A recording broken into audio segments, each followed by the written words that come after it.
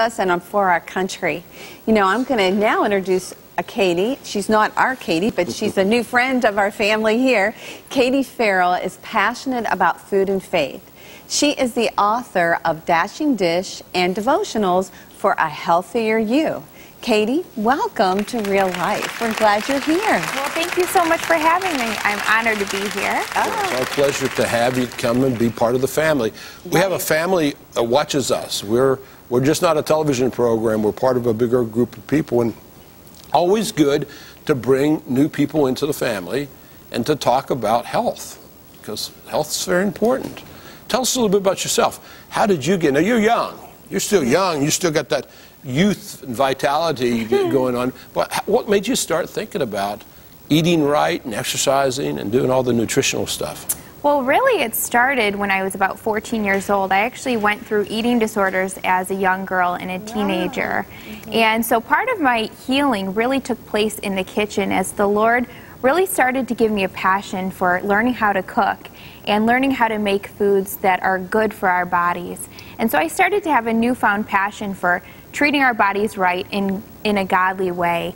And also, I went to nursing school and so became a registered nurse and really learning about the human body and how detailed and intricate that God made it gave me a desire to really take care of this amazing gift that He's given us. So, along with your issues, your personal challenges that you had, you had a faith that you said that God showed you how to take the next steps. Was it just in your prayer time, or how did that all evolve?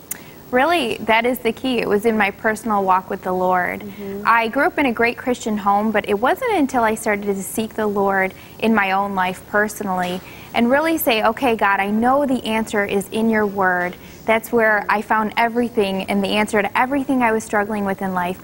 And so I started to dive in, and the Lord revealed to me in Romans 12, 2, which says, Don't conform to the pattern of this world, but be transformed by the renewing of your mind. Mm. Then you will know my good, acceptable, and perfect will for your life. Mm. And I knew that renewing my mind with His Word was truly the key to finding freedom in every area of our life. That's really great because I know there's a lot of young ladies and men that are really struggling with their body shapes and eating. And we were talking about that at the beginning of the program how we don't always make good choices. How are your recipes different?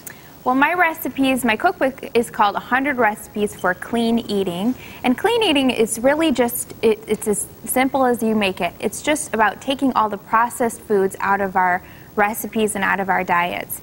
And when I talk about processed, the thing that I tell people to stay away from are white sugar, white flour. Get rid of the white stuff first because it's really so processed and man made, it has no nutrition. Mm-hmm. Get rid of the white and try to be fresh. Mm-hmm. Yeah. Stay out of the stay out of the freezer section as much as possible. Well, I, am looking forward to a recipe. You're gonna you're gonna cook something for us in the second half of this program. So I'm looking forward to that recipe. And tell us about your family. Are you, are you married? Do you have children? I am married. I've been married to my high school sweetheart for almost seven years now. Wow. So yeah, and we don't have kids yet, but we that's the next step. but I hear an accent, so tell us where you're from. We're from Michigan. Okay. So, so I heard that accent. I did. Well, you know, I was on your website, so we, we need to mention not only do you have a recipes, but you have a website. Can you share? You have different aspects. I found that really intriguing.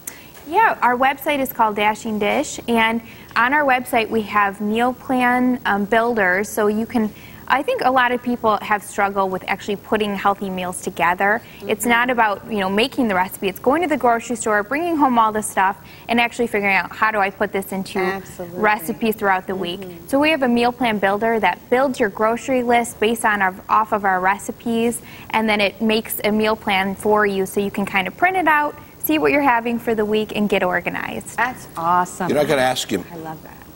Yeah, I know. That's that's part of the biggest really part of the do. job is putting the food mm-hmm. together Absolutely. and then go and get a shopping list. That's great. So, all the experience you've had so far in the kitchen, what is your favorite dish to cook? I always get asked that, and you know it's changing all the time. But my personal favorite has to be anything with chocolate. and I have a chocolate one minute cake in my cookbook, cookbook. And it's really amazing because it's one single portion. You put it in the microwave for one minute And there you go. You have a perfectly portioned dessert, which is so important because oftentimes you want to eat the whole cake if you make a big cake, right? Right, that's so, right. I, when I did Weight Watchers years ago, that was their big thing, were portion control. Mm-hmm. I like that. You just make it for a single serving. That's mm-hmm. awesome. So I'm kind of I'm kind of a little bit lost now, Katie. We're talking about eating healthy, and eating fresh, eating whole, and you tell me about a minute chocolate cake. Give me something else. What what, what about a healthy uh, uh, protein? Give me a protein dish.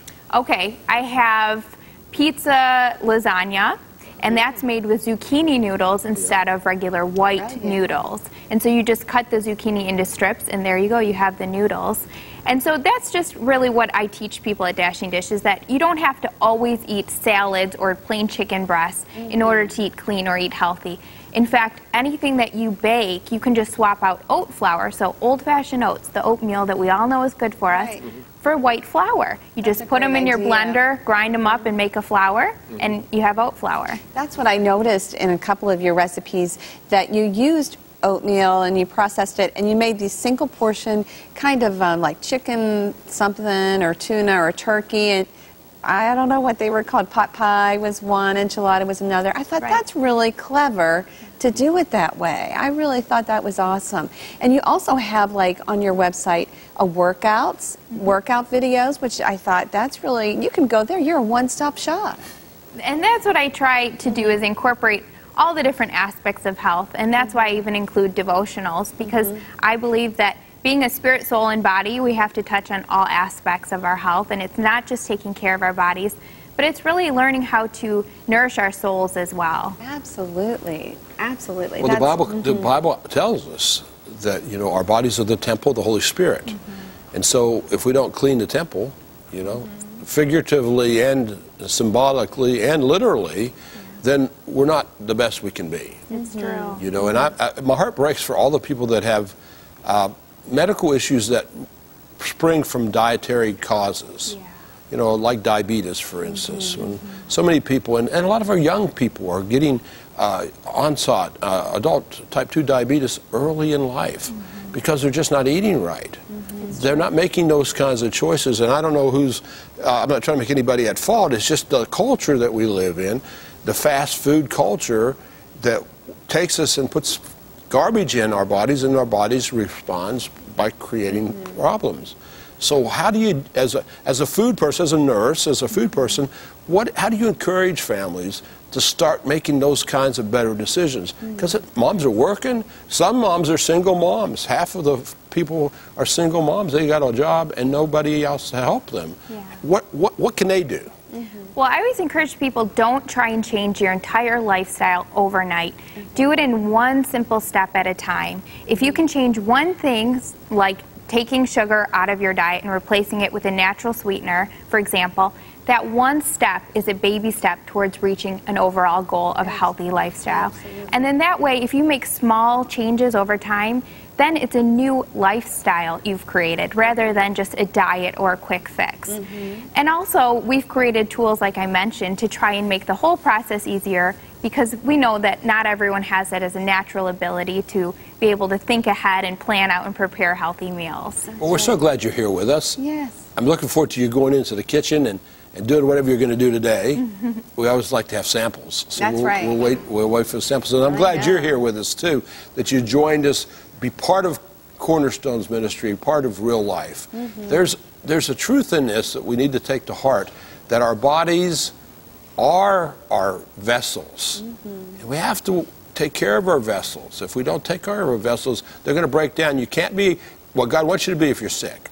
You can't be fully what you want to be if you, if you don't have the right mind, the right mentality. So stay tuned. We're going to go into the recipe with Katie. Some good news coming up and some music.